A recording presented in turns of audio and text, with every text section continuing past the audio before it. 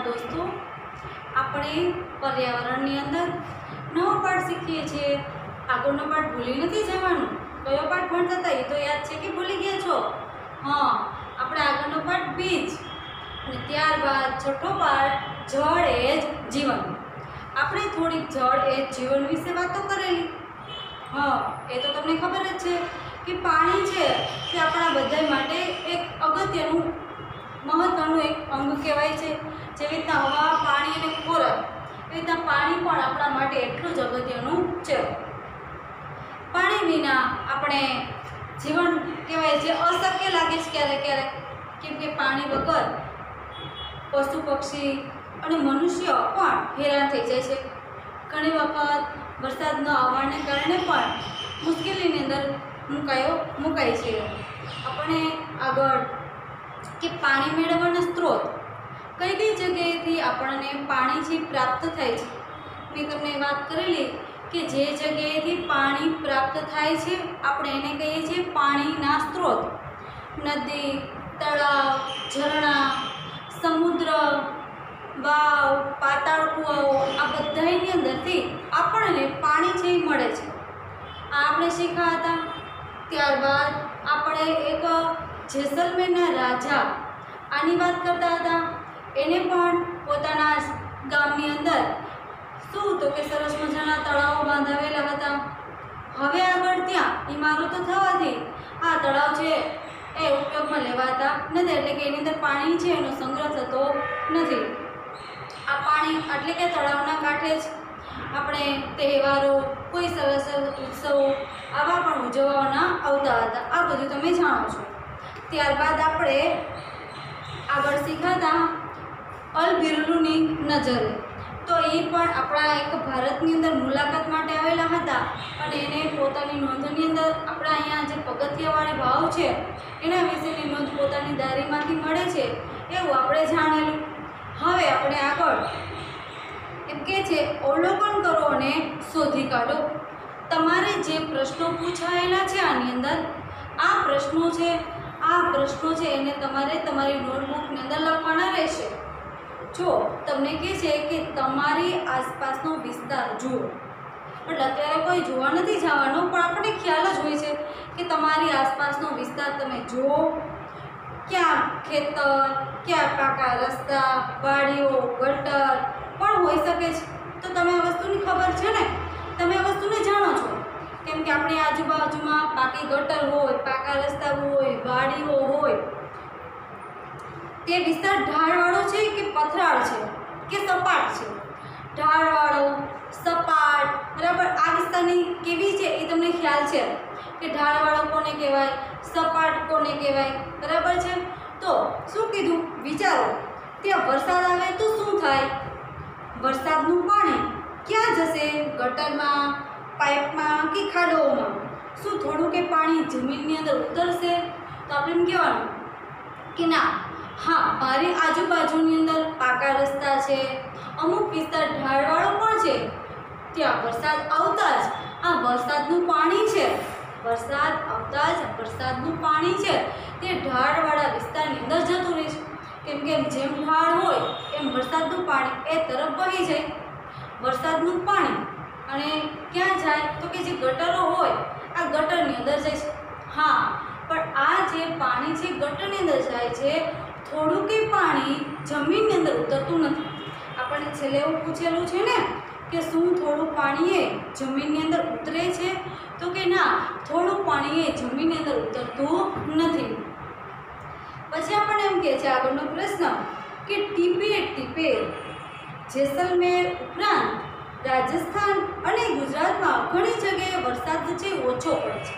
આપણા ગુજરાતની અંદર જે કચ્છ બાજુનો વિસ્તાર છે, ત્યાં આગળ વરસાદ છે, એ બહુ ઓછો પડે છે.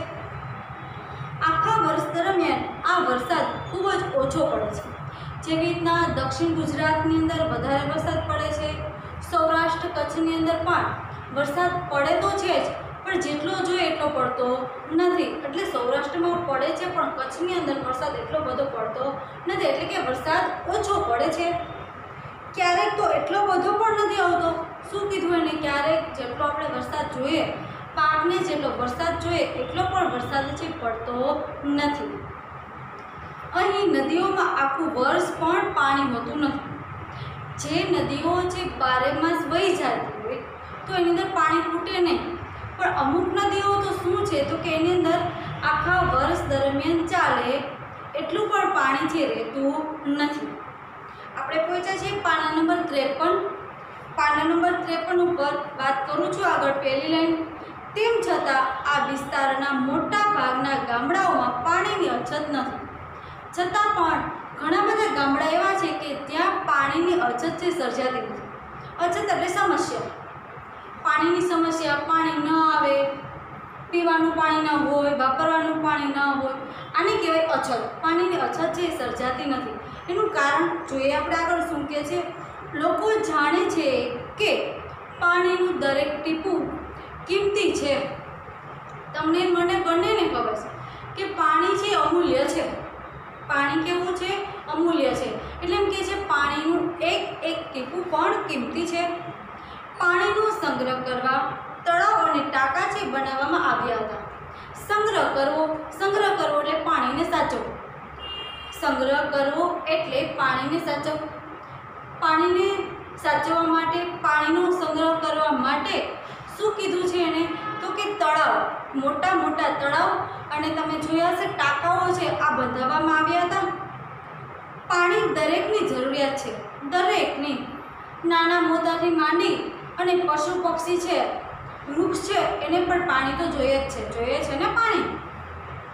આથી પાણીના સંગ્રહ માટે સૌએ પ્રયત્ન છે કરવા જોઈએ, સૌ એટલે બધાએ. પાણીનો સંગ્રહ કેવી રીતના કરવો, એનો બને એટલો ઓછો વપરાશ કરવો જોઈએ. પાણીને વેડફવું ના જોઈએ. કેમ કે જેમ જેટલું આપણે પાણી જોઈએ છે, એટલું જ આપણે ગ્લાસની અંદર પણ પીવા માટેનું પાણી પણ લેવું જોઈએ. આ કામ વેપારી હોય, મજૂર, કારીગર હોય, ખેડૂત દરેકે સાથે મળીને કરવું જોઈએ. કોઈ પણ વર્ગનો વ્યક્તિ હોય મજૂર છે, ભલે ખેતી ના કરતો હોય, પણ એને પાણી તો જોઈએ જ. ખેડૂત છે, એને પણ ખેતીની અંદર પાણી જોઈએ. કારીગર છે કડીઓ લે બરાબર, તો એને પાણી તો જોઈએ જ ને. શું કીધું? કે દરેકે, એટલે આ બધા વ્યક્તિએ સાથે મળીને કામથી કરવું જોઈએ. નદી, તળાવમાંથી પાણી જમીનમાં ઉતરી કૂવા અને વાવ સુધી પહોંચે છે. ક્યાં સુધી પહોંચે છે? તો કે કૂવા અને વાવ સુધી આ પાણી છે એ પહોંચે છે. તમને કહે છે કે જેથી જેથી તે વિસ્તારની જમીન છે એ ફળદ્રુપ બને છે.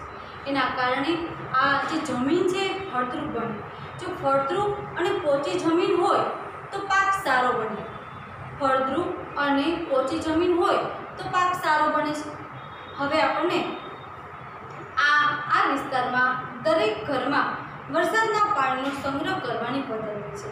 આ બાજુના ઘરની અંદર, દરેક વ્યક્તિના ઘરની અંદર પાણીનો સંગ્રહ કેવી રીતે કરવો, એની એક શું કીધું છે? પાણીનો સંગ્રહ કરવાની પદ્ધતિ છે. કઈ પદ્ધતિ છે? જો તમારી બાજુએ આપેલું ચિત્ર છે, એને તમારે જોવાનું છે. હવે જુઓ, તમને એક ઘર દેખાય છે, મકાનની છત દેખાય છે. આ મકાનની છત ઉપરથી ખૂણા ઉપર તમને એક પાઇપલાઇન દેખાશે. પાઇપલાઇન એટલે વરસાદનું પાણી છે. વરસાદનું પાણી, એ મકાનની છત ઉપર શું થાય?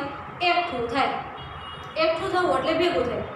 મકાનની છત ઉપર આ વરસાદનું પાણી છે એ ભેગું થાય. આ છત ઉપરનું પાણી જ્યાં ભેગું થાય છે, ત્યાં ભૂંગળું હોય છે. ભૂંગળું મૂકેલું હોય ને, ત્યાં આગળ પાઇપ મૂકી અને એ પાઇપ છે, એ જે વરસાદના પાણી જે નીચે આપણું જે અંડરગ્રાઉન્ડની અંદર જે ટાંકી હોય છે આપણે જેને ભૂગર્ભ ભૂગર્ભ ટાંકી કહીએ છીએ જમીનની અંદર મોટાકો હોય ને, આ ભૂગર્ભ ટાંકી છે, આ પાઇપલાઇન સીધો ભૂગર્ભ ટાંકી સુધી ગોઠવાયેલો હોય છે.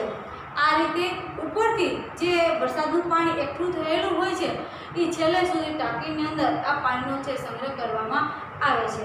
તો આ રીતે વરસાદનું જે પાણી એકઠું થયેલું હોય છે, આ પાણી છે, આ આખા વર્ષ સુધી આપણે સચવાય છે.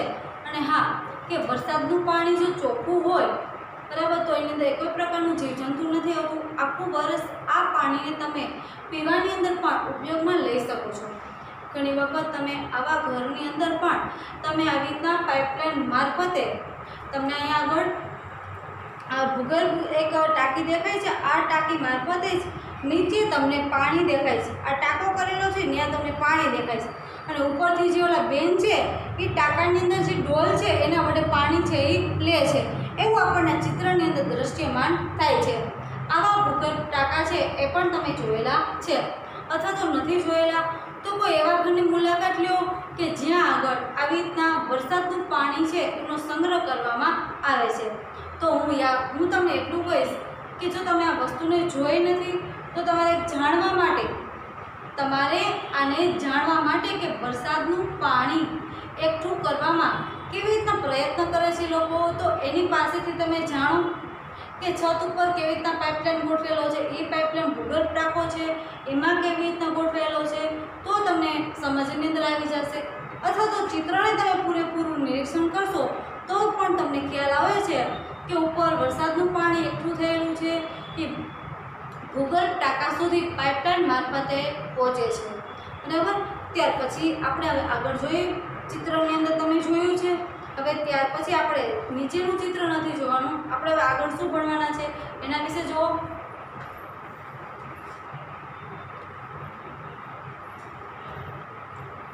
તમારા મતે વરસાદનું પાણી જે છત ઉપર પડે છે તે કેવી રીતે જમીનની અંદર ટાંકીમાં પહોંચતું હશે, એનો તમારો રસ્તો છે દોરવાનો છે.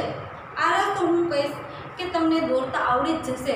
કોઈ મકાન એવું સરસ મજાનું બનાવો હોય એવું હશે તો પ્રયત્ન કરો હમણાં તમને બનાવવાનો. હવે આટલું જાણો. તમારે માત્ર એક શીખવાનું છે શું કહે છે કે પ્રવેશ દ્વારની સંખ્યા મુજબ ચાર પ્રકારની વાવ છે જોવા મળે છે. જો નંબર એક ઉપર નંદા નામ યાદ રાખવાનું છે કે નંદા છે, એની અંદર એક જ પ્રવેશ દ્વાર હોય છે. આપણે આગળ જોયું હતું ને કે ઉતરવા માટેના પગથિયા પણ અલગ હોય છે અને ચડવા માટેના પગથિયા પણ અલગ રાખવામાં આવેલા હોય છે. ભદ્રા, બીજા નંબર ઉપર ભદ્રા, કે જેની અંદર બે પ્રવેશદ્વાર હોય છે. નંબર ત્રણ, જયા, જેની અંદર ત્રણ પ્રવેશદ્વાર હોય છે. અને નંબર ચાર, વિજયા, કે જેની અંદર ચાર પ્રવેશદ્વાર હોય છે. વાવવા વાવની અંદર આવવા જવા માટે ચાર પ્રવેશદ્વાર, ત્રણ, બે અને એક. યાદ રાખવાનું, નંદા, કે જેની અંદર શું આપેલું હતું? તો કે એક જ પ્રવેશદ્વાર, એક. નંબર બે, ભદ્રાની અંદર બે. પછી કોણ આવતું હતું? જયા, કે જેની અંદર ત્રણ પ્રવેશદ્વાર હતા. અને વિજયા, કે જેની અંદર ચાર પ્રવેશદ્વાર હતા. આ તમારે જોડકા સ્વરૂપે તમને પૂછાઈ શકે. તમારે યાદ રાખવાનું છે કે ત્રણ નંબરની ત્રણ પ્રવેશદ્વાર હોય તો એ વાવનું નામ શું કહેવાય? ત્રણ પ્રવેશદ્વાર હોય એ વાવને શું કહેવાય? જયા કહેવાય કે વિજયા કહેવાય? જયા.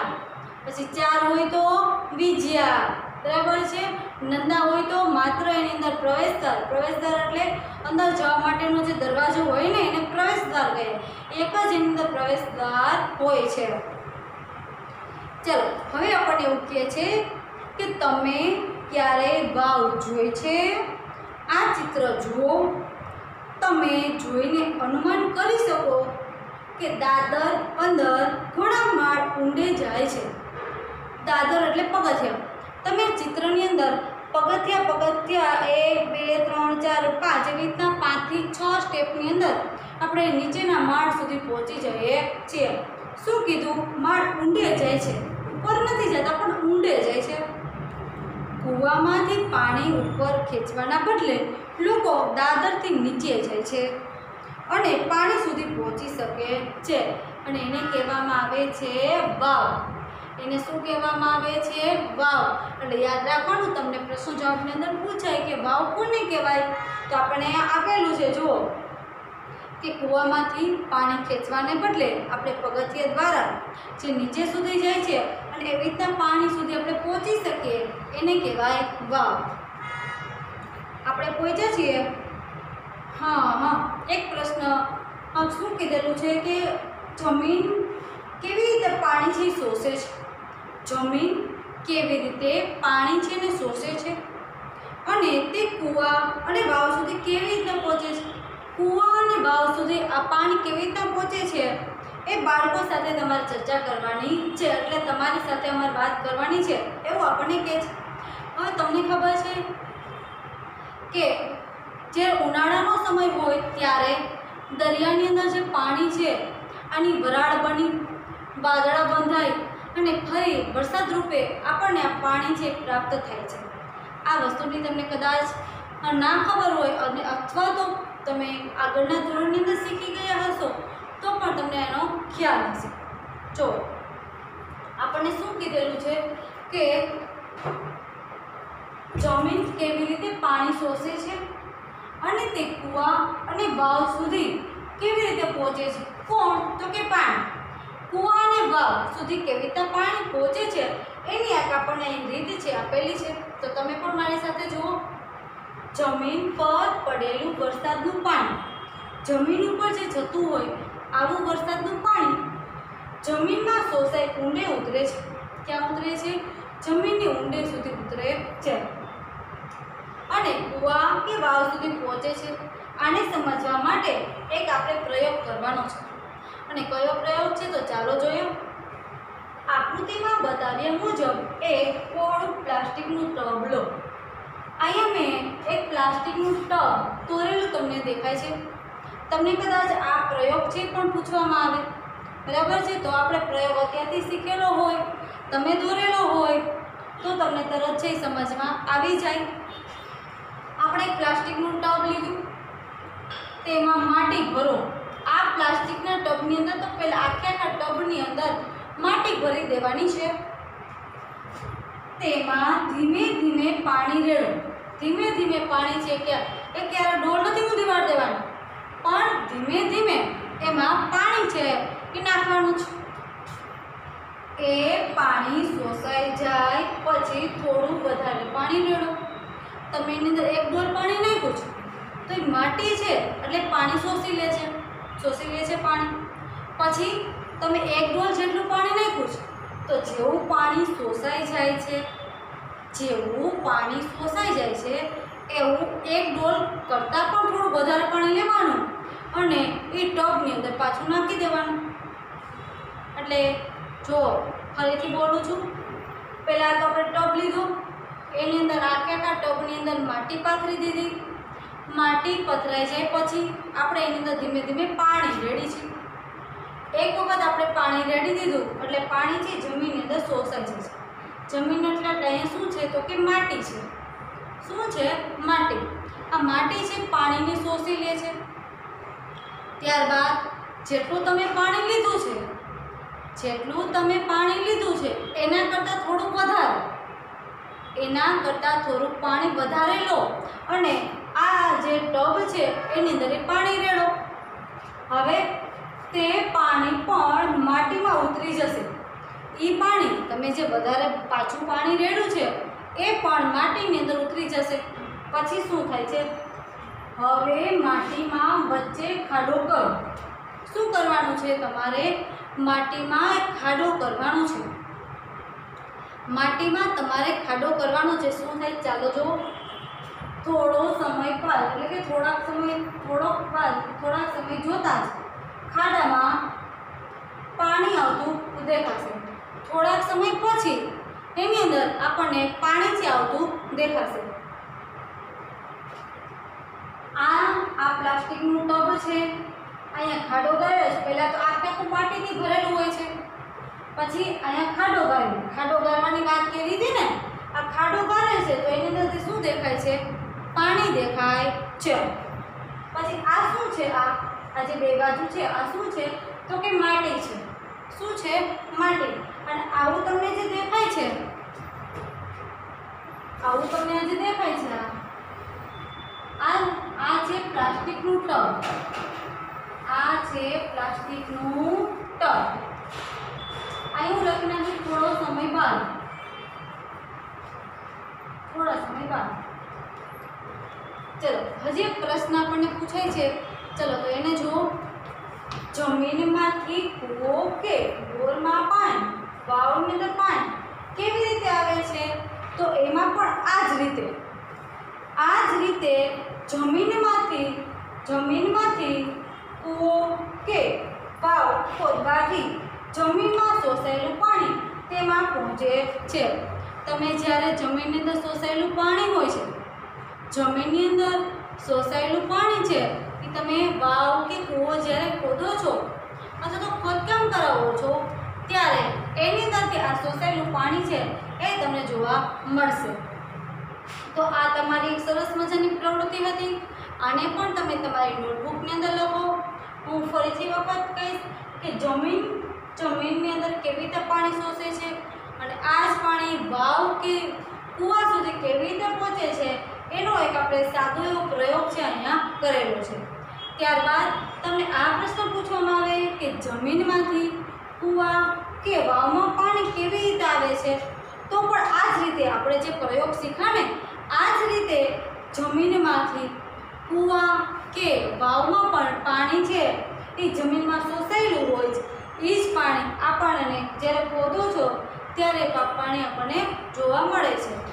તો આપણે આગળ પહોંચ્યા છીએ પાના નંબર તમારા ચોપન. તમારી પાઠ્યપુસ્તકની અંદર પાના નંબર ચોપન ઉપર જાઓ.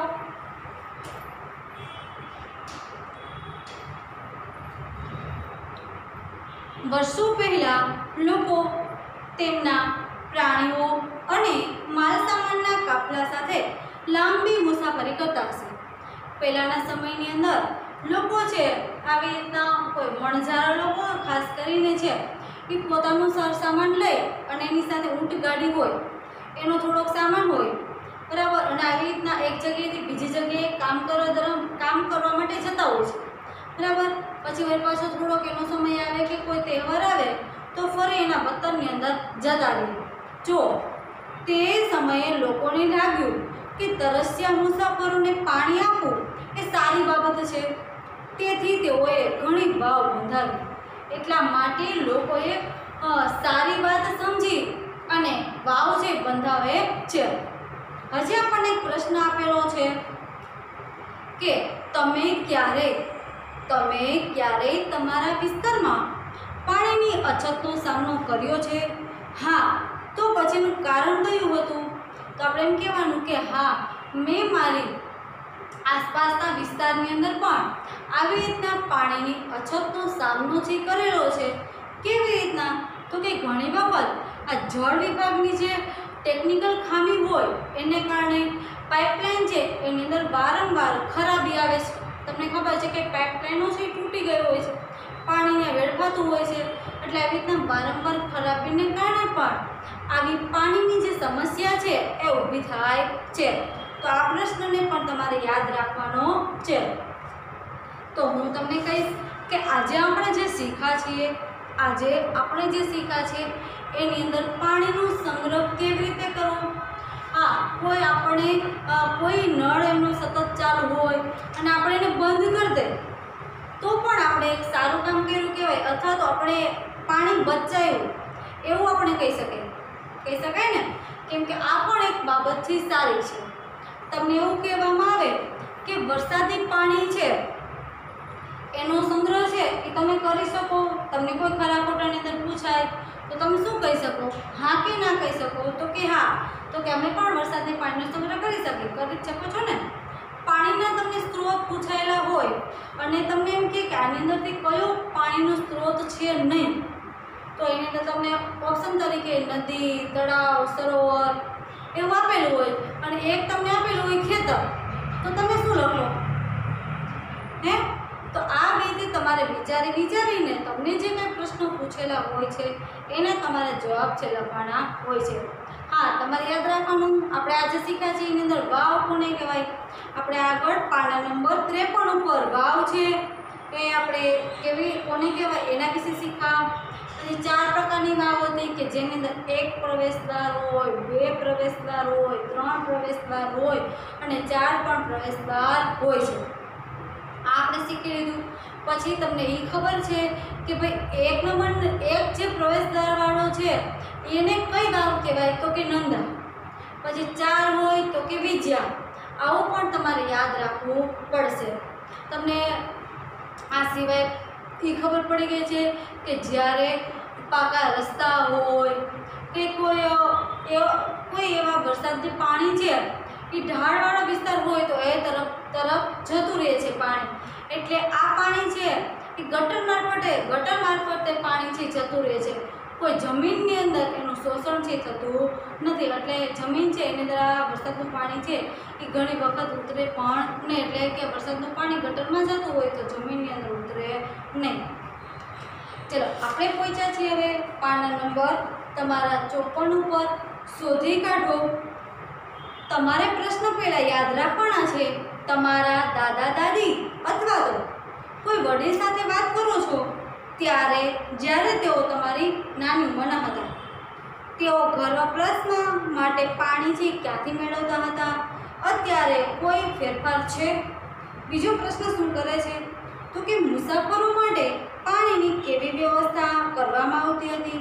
ઉદાહરણ તરીકે બરફ, મસક અથવા તો કંઈ બીજું. આમાંથી શેનો વપરાશ થતો હતો? અત્યારે લોકો મુસાફરીમાં પાણી માટે શું કરે છે? તમને ખબર હોય તો પાણી છે, એના પાણીના પરબ જે ખોલવામાં આવે છે. પાણી છે આ મુસાફરો માટે તમે ક્યારેક એવા ઠંડા પાણીના માટલા છે, એ પણ અમુક જગ્યાએ મૂકાયેલા તમે જોયા હશે. એટલે આને આપણે કહીએ છીએ પાણીની પરબ. પછી મસક. ચામડાનું મસક હોય. આની અંદર પણ પાણી છે એ રાખવામાં આવે છે. પછી આ બે પ્રશ્નો આપણે આગળના તાસની અંદર શીખી લઈશું હવે હું તમને કહીશ કે જો તમને ઘરે સમય મળે છે તો તમારા ચોપડના પાના નંબર ઉપર પાણી સાથે જોડાયેલા રિવાજ તમને ચિત્રની અંદર પણ દેખાશે અને આ આગળનું વાંચશો તો પણ તમને ખ્યાલ આવશે કે ભાઈ પાણી સાથે એવા તો કયા કયા રિવાજો જોડાયેલા છે. મારા કરતાં પણ તમારે પહેલાં વાંચવાનું છે અને એ કહેવાનું છે કે તમે આની અંદર શું વાંચેલું છે? તમને જો કોઈ અઘરા શબ્દ લખ્યા હોય, તો એની નીચે અંડરલાઈન કરી નાખજો, બરાબર છે? અને તમને આગળ શોધી કાઢો. તમને આગળ પાના નંબર પંચાવન ઉપર શોધી કાઢો એવું આપેલું છે. તો એના પ્રશ્નો લખી નાખો કે જેથી કરીને હું જે અહીંથી તમને જવાબ કહું, ત્યારે તરત તમારે એના જવાબ છે એ નોંધવાના રહે. તો આટલું મારા માટે કરશો. કરશો ને બધા મિત્રો? હા, તો આપણે શું વાંચવાનું આજે છે? તો કે પાના નંબર ચોપન ઉપર પાણી સાથે જોડાયેલો રિવાજ. અને આગળના પ્રશ્નો છે, એ બે તમારે વિચારીને રાખવાના છે. એમાં પહેલું તો એવું છે કે તમારા દાદા દાદી, તો ઘરની અંદર આપણા દાદા દાદી હોય અથવા તો વડીલ, એટલે જેને આપણે માતા પિતા આપણી સાથે હોય છે, તો એ આપણાથી મોટા એટલે વડીલ જ કહેવાય. તો એની સાથે તમારે વાત કરવાની છે અને આ બે પ્રશ્નો છે, એના જવાબ તમારે મેળવવાના છે.